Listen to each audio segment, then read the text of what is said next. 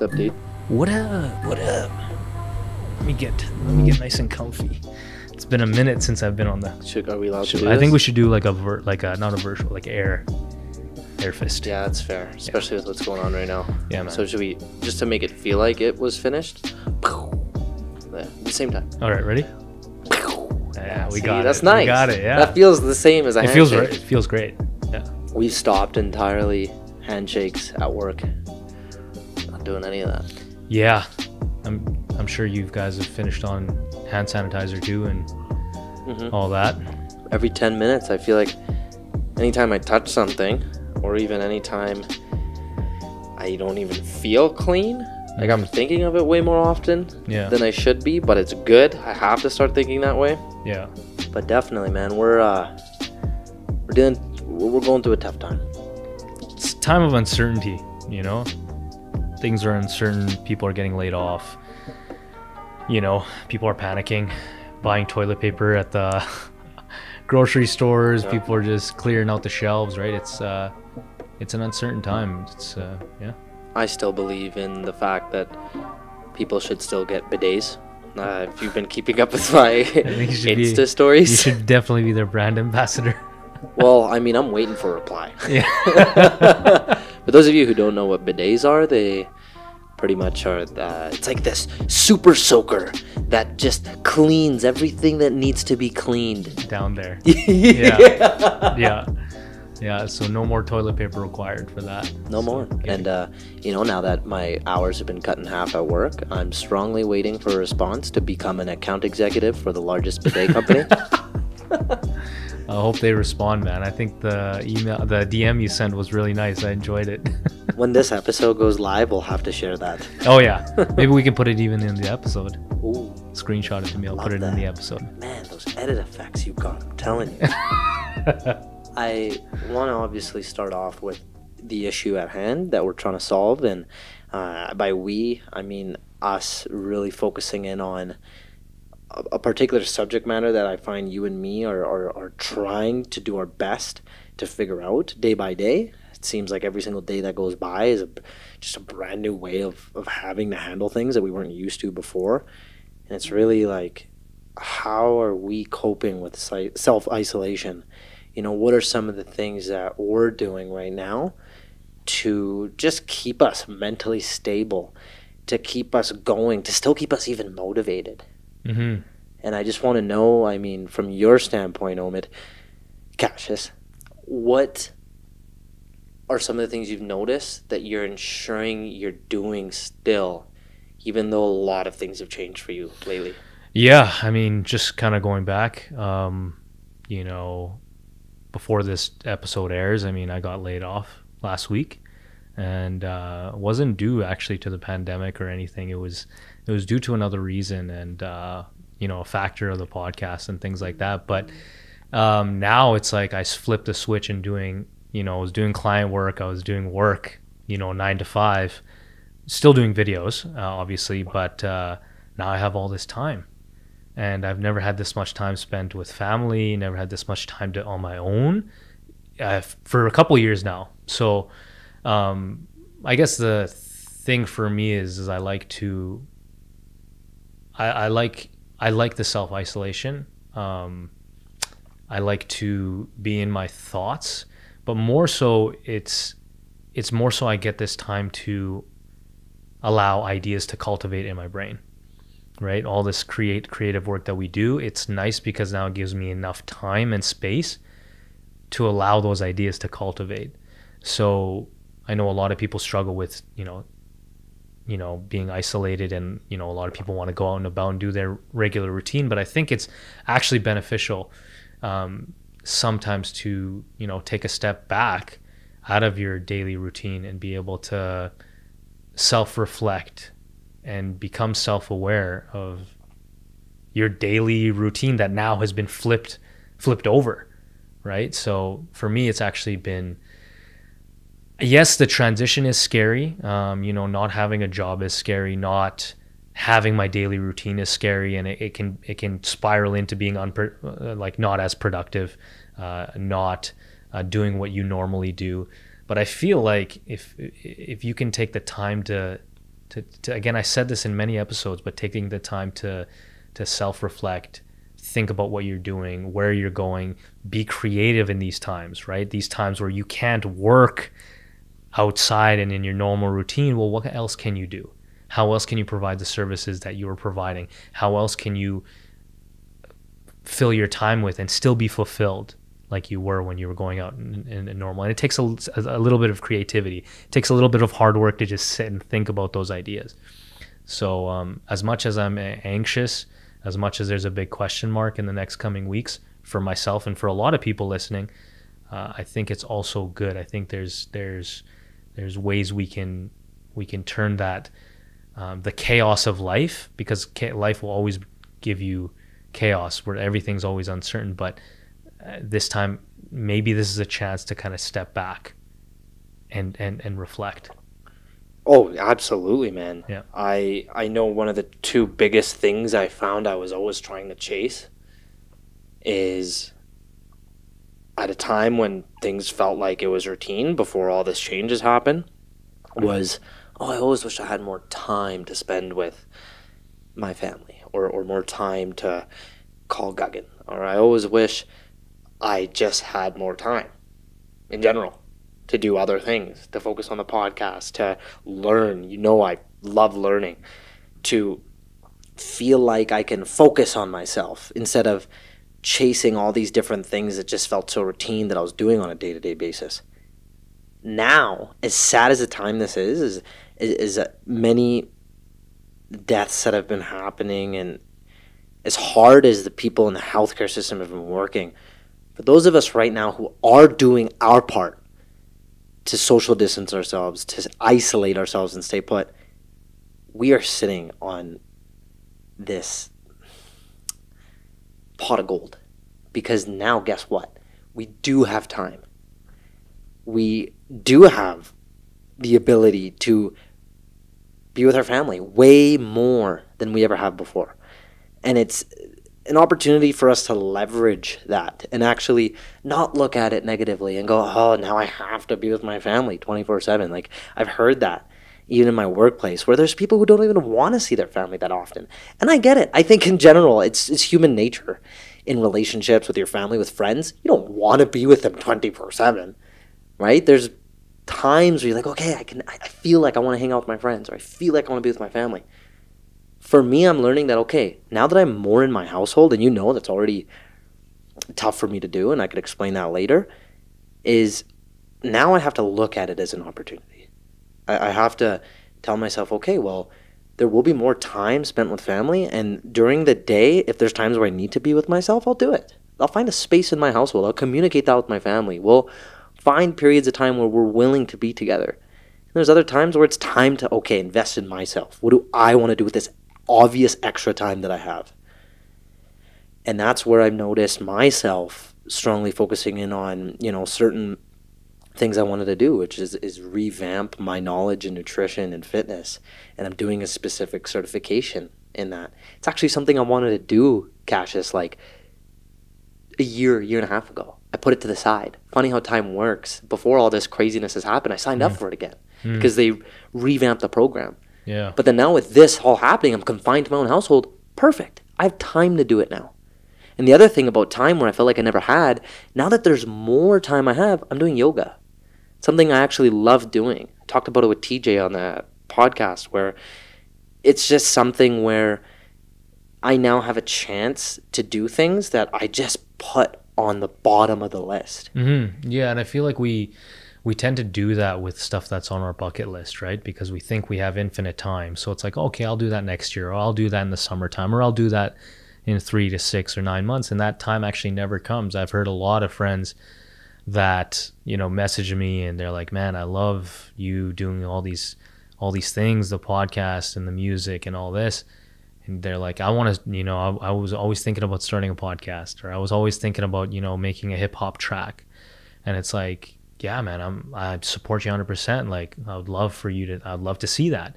You know, 3 months later that com- after that conversation, 6 months later after that conversation, we reconnect again and I ask, "Hey man, like how's that track coming along or how's that podcast coming along?" and they hadn't even started it.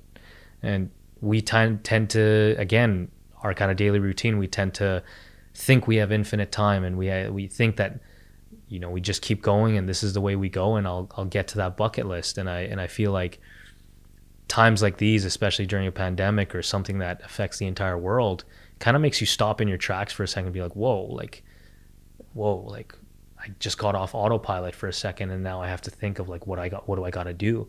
And for a lot of people because they haven't done that before, they don't give themselves time to self-reflect. They don't give themselves time to meditate and think about themselves or think about where they're going enough to be alone, enough to self-isolate that they're very uncomfortable in this in this time period. So my like I guess just from reading and and I I know for me I'm not perfect. There's times that I want to go out and do things, but just by reading and, and, and seeing the people that I that I kind of look up to and see what they're doing, a lot of these guys meditate. A lot of these guys are alone. A lot of these guys understand and are comfortable in their own skin without having other people, family members, but they're comfortable in both realms and and that takes practice. It takes it takes time to take your time out of your day to for yourself. It takes time out of your day to think by yourself and be by yourself and that's a scary thing again for a lot of people but it, it's something that I think is crucial in life because you're always going to be alone. You're always going to have these moments where family's not going to be there friends aren't going to be there. What are you going to do at that time? Are you going to are you going to be unproductive? Are you going to be are you going to throw yourself in a in a bad position? Are you going to be anxious? Are you going to have these emotion emotions of, you know, depression and things like that? Or are you going to say, "You know what? Like, okay, I'm in this position. I'm by myself. What are things that I wanted to do for a long time? What are things that were on my bucket list? What are things that I genuinely was interested in, but I I didn't have time because of work or because of family or because of the daily life what can i tackle? And i feel like again it's just a matter of what what your purpose is you know?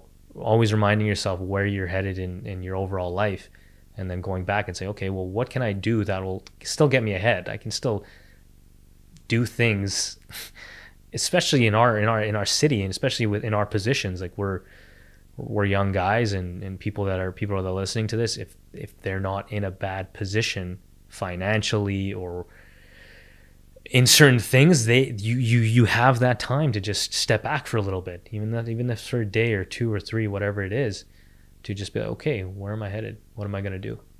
And it's crazy because that feeling gets amplified when you now know that laws are potentially being in place and it's obviously like social nature now for you to almost feel bad to step outside your house. So it, it's now amplified to be even more confused and almost scared to feel like you now have to do all of what you mentioned in one space. Yep. As human beings, I find in today's society, we we love, especially people our age, we love to go out, right? Yeah. We love, hey, home is for home, sleep, eat, maybe watch a little TV, and other than all that, that's it. I'm going out. I'm gonna go see friends. I'm gonna go watch a movie. I'm yep. gonna go do this, that, this, that. Yep. And that's very much what my life was, as you know it, as we've even talked about beforehand.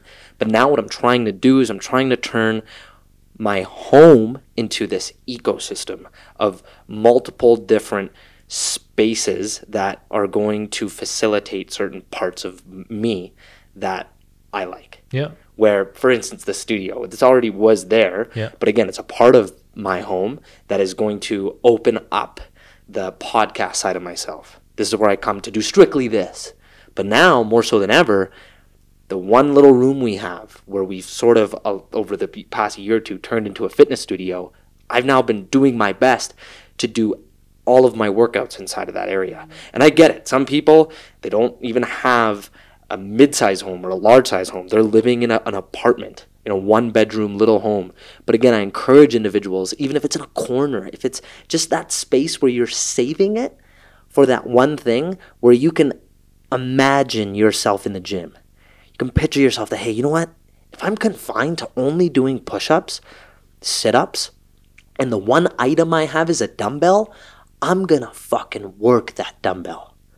I'm gonna I'm gonna think and go on Instagram and go on Google and figure out multiple different things I could do with my own body and this one set. And it's it's it's invigorating. It's nice to see that people are actually putting the stuff out there and, and people are being supportive. But again, it's what you're searching. It's it's what you're gonna tell yourself and what you're gonna use the space for. Yeah, um, you bring a great point, man. 50 Cent says uh, a really good quote. He says, turn shit into sugar. And that was uh, from a book called uh, The 50th Law by Robert Greene and 50 Cent for those who want to take a look at it. But in his life, when he was coming up and trying to, uh, you know, write music and trying to live his life, he didn't have anything. He didn't have no, he didn't have a place to live. He didn't have these things. So turning his shitty situation into, into sugar was his whole motto. So the resources you have in front of you, a lot of us have a lot of resources and we don't we kind of overlook these resources, man. Big time. Right? We kind of we overlook it because we're like, ah, this isn't uh, this isn't my ideal situation. This isn't this and, and you don't think it all it takes is a little bit of creativity. All it takes is a little bit of revamping of your of your room or your apartment or and now you have a corner where you can do your fitness. Now you have a corner where it's a little office. Now you have a corner to do your little podcast, right? You don't need a full on studio. You don't need a full on gym to do these things. It's just a matter of are you willing to do it? And are you willing to turn shit into sugar? And seeing that as an opportunity. And I feel like, um, you know, there's, there's, there, it's all your lens. If you can switch your lens to seeing those things as opportunities, because even when we start again, like it, it's, it goes back to what we, we were doing. When we started the podcast, we didn't have this studio. We didn't have the equipment. We didn't have, the things that we have. It took us two years to get to this point. It's the same thing with my music. When I started, I didn't have the I had a fifty dollar mic. I didn't have a studio. I had my closet to to help with the with the with the sound, for soundproofing. Like, was that did that stop me from writing music? No. Did that stop me from doing my creative work? No. I had a small little room of mine in my bedroom and away I go. And now I set now during this period I had I have the resources to set a little table up in my room and set a little whiteboard up and and move things around a little bit to make it a little bit more you know, I guess convenient in a sense where I can just start and go. You get innovative. You get innovative, man. So I feel like during this time of self isolation, I feel like people need to get a little bit, use your creative brain a little bit, and and use what you have to your advantage. That's exactly it. That's that last part is exactly what we need to do is if we can see what's in front of us and that's all we have, how can we be satisfied? Yeah, there's ways to do it. How can we make ourselves be satisfied with it? Human beings once upon a time didn't even have a cell phone in their hands to entertain themselves, let alone in the 1600s, let's just use that as an example, when it was a little bit more you could say the norm to be with your family, be with your tribe, and go and hunt, get food, and come back to your little small pod of people you know. And maybe that's just your family of five. Maybe that's just you and your significant other, whoever it is. Maybe it's just you. Like, who knows? But at whatever time in life you're at, you accept it. And kind of like right now, that's what we're doing. The only essential need we have is food. We're going out, we're getting it, we're coming back to the pod. Yeah. But when we're coming back, guess what we have? It goes back to your point. Let's leverage what we have. We have a cell phone. We have the ability to entertain ourselves. We have technology put in place to still speak with other people. Mm-hmm. So it's just flipping the script. Yeah. And, and and not going, this sucks. I can't do this. I can't do that. I can't watch a movie outside. I Mm-hmm. can't I can't chill with my friends. Well, Mm-hmm. hey, what can you do? Yeah. It's just about adapt, you know, the, the whole idea of adapt or die. You know, it's just, it's things chaos. This is the chaos of life. You know, we don't know what else is coming our way, you know, and, and at the end of the day, if you can't adapt to your situation, if you can't be happy with the situation, not happy, but just being okay with your situation and figuring things out, it's just like another problem you got to solve. Okay, I can't go to the gym. What can I do? Do I have a dumbbell? Do I have a band? Do I have a little space in the corner where I can do a thousand push ups a day? You can still do these things. It takes a little more effort than, you know, having a treadmill. It takes a little more effort than having dumbbells in front of you. Um, it's the same thing with the creative works, man. It's it's a little bit of creativity, you can turn your shit into sugar. I love that. it's true though. Yeah. You work with what you have in front of you right now. You're Yeah. building the foundation for then when shit gets normal. Because trust me, we'll get back. We will get through this. We need to all be there for one another. We need to be optimistic as much as this fucking sucks. Yeah. We still need to understand that on a human level, we're all going through it.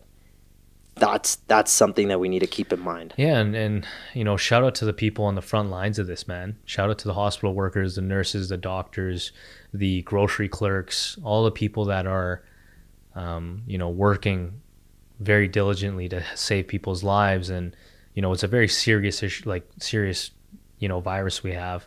Um, you know, we can do our part in, in social distancing, and uh, you know, all we can do is support one another and and um, and share positive vibes through our platform here, but just people around us, people that we talk to virtually. that's all we can do. Hundred percent, man. And I just want to add to those shout outs. I'm really glad you said that. And this episode's absolutely dedicated to everyone whom we mention on that front, especially in the healthcare industry. And it also goes to show the media outlets that are out there keeping everyone informed, uh, everyone out there who's ensuring that we are aware of what's happening on a day to day basis so we can keep up with the change, right? Because it's been so much at once that we're getting overwhelmed, yet they're putting the policies in place to ensure that we know what to stick with. Yeah. And if we kind of end this off with stating any recommendations, right? It could be what you should do, what you think you should do, and what Yep. one shouldn't do. I think we can go a little back and forth Absolutely. on that. Yeah, I, go a number one thing I recommend is um, I think we've done a really good job of it where uh, with our friends we're all we're all refusing to even hang out and I, I vouch that I'll follow with that. It's not going to be easy 'cause you know I'm a social butterfly.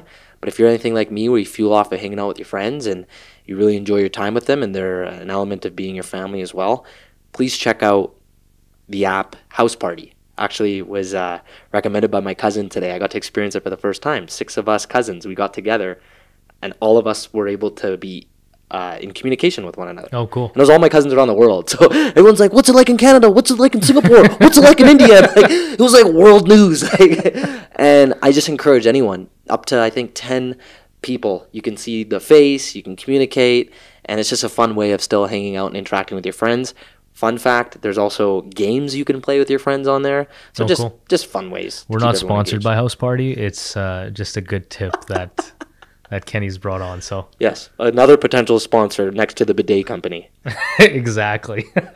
Any recommendation on your end, brother? Honestly, I don't have anything specific, but I just I just say you know everyone's got to keep their head up uh, in these moments and um, just self reflect. Take this time out to think about you know where you're headed, what you're doing.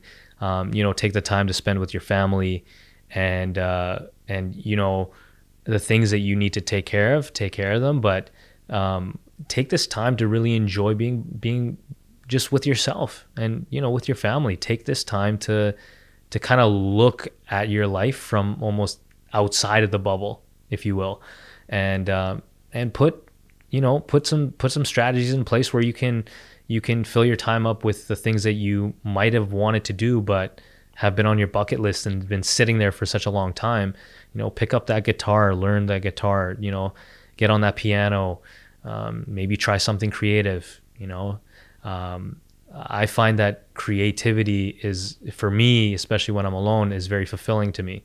Um, so for those who haven't done those things that they want to creatively, I think I highly recommend that this is a good time to do it. And um, yeah, those are my recommendations.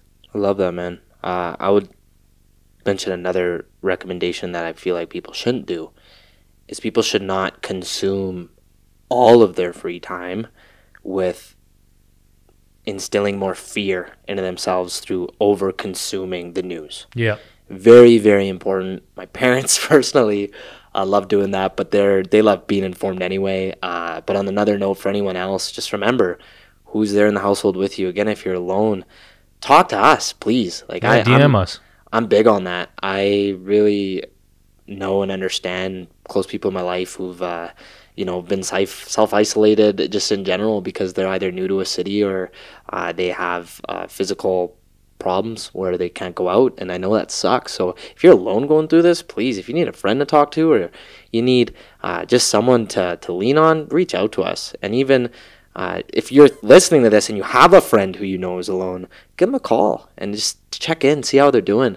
Uh, this is not fun to do alone, and when you're with your family or friends or anyone in your household, just remember be there for each other, lean on one another. Uh, one of the greatest things I heard online right now was I forgot where I heard it from. I wish I could give them a reference, but they were saying assign certain duties in the household where there's less contact, where there's going to be that one person going to the grocery store.